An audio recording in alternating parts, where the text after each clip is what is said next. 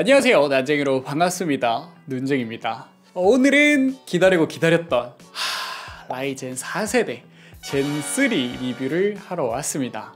출시하고 나서 구매한 다음에 거의 한 일주일 동안 벤치마크만 했는데 아 이게 이사 준비하면서 동시에 한다고 진짜 죽는 줄 알았어요.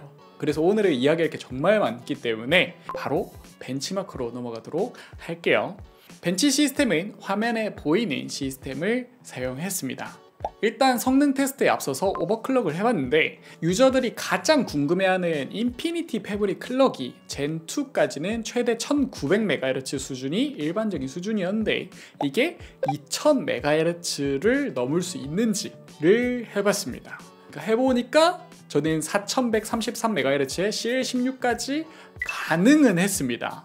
근데 latency 측정 수준까지만 되고 컴퓨터가 freezing이 생겨가지고 실제로 안정화는 불가능했어요. latency도 3800MHz의 CL14에 비해서 훨씬 높아서 성능적으로도 더 낮겠죠? 그리고 아무리 안정화 테스트 프로그램은 통과를 해도 3200MHz 초과로 램 overclock을 하면 하드웨어 info 프로그램에서 CPU bus interconnector 에러가 계속 떴습니다. 그런데 똑같은 보드에서 똑같은 바이오스에다가 Zen2 CPU를 장착을 하면 3800MHz의 CL14가 아무런 오류 없이 사용이 가능했어요. 근데 이 오류 뜨는 게 Zen2 때는 SoC 전압을 낮추면 안 뜬다 하는 유저들도 있어가지고 한 이틀 정도 이것만 안정화를 계속 봤는데 안 뜨는 거는 결과적으로 불가능했고요 혹시나 메인보드에 문제가 있나 싶어서 MSI X570 ACE 보드를 썼을 때는 3200MHz 초과로 넣으면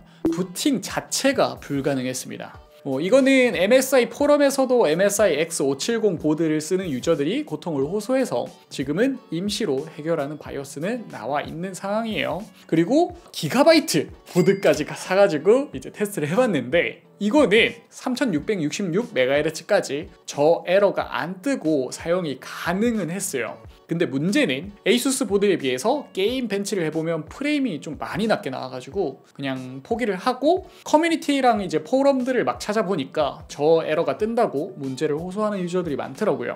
근데 이 부분은 초기 바이오스니까 충분히 그럴 수 있다고 생각을 하고요. 한 달 내로만 문제가 해결된 바이오스가 나오면 되지 않을까 싶네요. 그래서 이번 benchmark는 원래 기본 세팅을 3600MHz의 CL16으로 잡고 테스트를 하려고 했는데 혹시나 문제 생길 수가 있어서 3200MHz의 CL14로 통일을 해서 벤치마크를 진행을 했습니다. 하지만 오류가 뜨더라도 포텐셜을 봐야 되긴 하기 때문에 일부 CPU에서는 최대 오버클럭 수준으로도 gaming benchmark를 추가로 진행을 했습니다. 그래서 램 overclock이 된 상태에서 gaming 유저들이 체감이 가장 많이 온다고 하는 latency도 측정을 해봤는데 Zen2에 비해서 확실히 Zen3가 latency 부분에서 엄청나게 줄어든 모습을 볼 수가 있지만 그래도 인텔이 확실히 이 부분에서는 동일한 램 over에서도 더 낮은 latency를 보여줬습니다. all core boost clock은 Zen3가 Zen2 대비 엄청난 향상을 보여준 부분이라고 할 수 있는데 3950X하고 5950X를 비교를 했을 때 전력 제한이 걸린 기본 세팅에서는 큰 차이가 없고 PBO를 켜서 전력 제한을 풀어주면 all core turbo가 0.4GHz 정도 차이로 엄청나게 차이가 많이 납니다. 물론 전력 소모가 5950X 쪽이 약간 많아서 온도가 더 높긴 하지만 3950X가 전력 소모를 저 정도 높이더라도 0.4GHz의 clock 차이는 좁혀지지 않을 것 같네요. 그리고 전력 제한이 걸린 수준에서도 하위 라인업에서는 4.5GHz 수준을 뽑아주고 PBO를 킨다면 전체 라인업이 4.5GHz 수준으로 올라오고 5600X는 4.65GHz로 굉장히 높은 clock을 보여줍니다. single core boost 테스트에서도 Zen3가 Zen2에 비해서 개선이 많이 됐습니다. Zen2까지는 스펙상에 적혀있는 boost clock조차도 못 지키는 clock이 나왔는데 이번 Zen3는 single core boost clock은 스펙을 거의 만족하게 잘 뽑아주고요. cooling 환경이 좋아서인지 오히려 더 높은 clock이 나오는 경우도 있었습니다. 인텔은 Thermal Velocity Boost라는 기술까지 도입을 해서 boost clock 표기를 굉장히 높게 표기를 해놓는데 최대로 찍을 때는 표시된 boost clock의 달성이 가능은 했지만 평균적인 boost clock은 그것보다 더 낮게 나왔습니다. 물론 인텔은 single core boost clock이 터질 때도 나머지 core들의 clock이 굉장히 높게 유지가 되지만 Ryzen 쪽은 나머지는 낮게 유지가 되면서 쓰는 core만 높게 유지시켜준다는 차이점이 있겠네요. 그래서 전력 소모 부분으로 넘어가면 라이젠은 부하를 가해도 TDP에 가깝게 전력 소모를 하면서 성능 제한이 걸리는 걸 볼 수가 있습니다. 그리고 PBO를 켜면 그보다 더 높은 전력 소모로 더 높은 성능을 보여줍니다. 근데 인텔은 최근에 와서 TDP하고 상관없이 하위 라인업 메인보드도 기본적으로 전력 제한이 풀려 있게 바이오스가 세팅이 되어 있어요. 그렇기 때문에 실제로 사용을 했을 때 TDP보다 전력 소모가 굉장히 높은 걸 볼 수가 있고요. 만약에 전력 제한을 스펙에 맞게 건다면 1900K 같은 경우에는 올코 4.9GHz에서 4.05GHz 수준으로 굉장히 낮아지는 걸 볼 수가 있습니다. 자세하게 인텔의 전력 소모에 대해서 이야기하면 PL1, PL2라는 체계를 가지고 있는데 이게 처음에 부스트가 터졌을 때는 PL2만큼의 전력 제한이 걸렸다가 일정 시간 부하가 지속이 되면 PL1으로 전력 제한이 좀 낮아지는데 인텔은 이 PL1 기준으로 TDP 표기를 해놔서 실제로 인텔이 스펙에 적어둔 올코어 터보 부스트는 실제 TDP로 전력 제한을 걸면 스펙을 만족하지 못한다고 볼 수 있겠죠. 그런데 온도 부분으로 넘어가면 라이젠 CPU는 인텔 CPU에 비해서 전력 소모에 비해서 온도가 높은 모습을 보여줍니다. 이거는 CPU의 구조 차이 때문에 기존의 water block들이 제 성능을 내지 못한다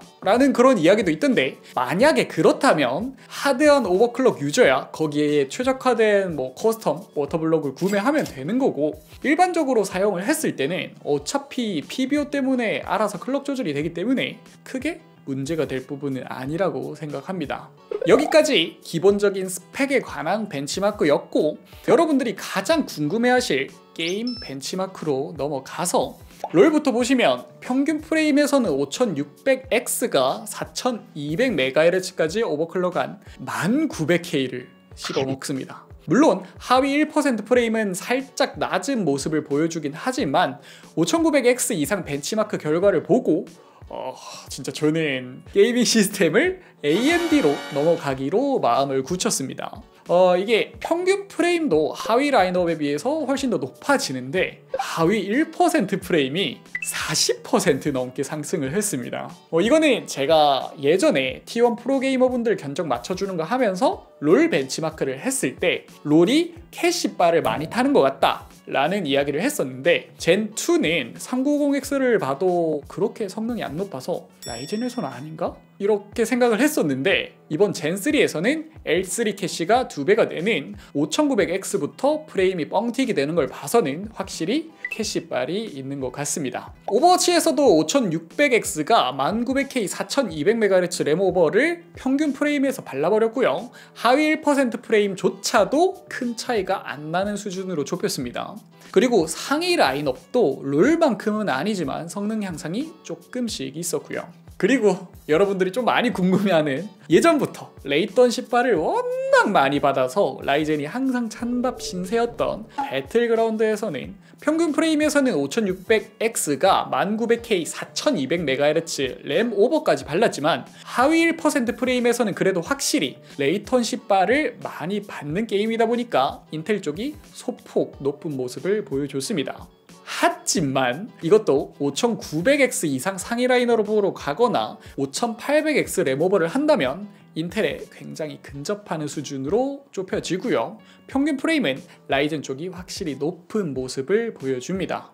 섀도우 오브 툼레이더에서는 그래도 5600X가 1900K 4200MHz 램오버는 못 이겼지만 그냥 1900K는 평균 프레임에서 이기는 모습을 보여줬고 하위 1% 프레임에서 소폭 딸리는 모습을 보여줬습니다. 이것도 5900X 이상 상위 라인업에서는 1900K 4200MHz 램오버도 평균 프레임에서 이기는 모습을 보여줬습니다. 그래도 하위 1% 프레임만큼은 1900K 램오버를 하면 어찌저찌 버티기는 하네요.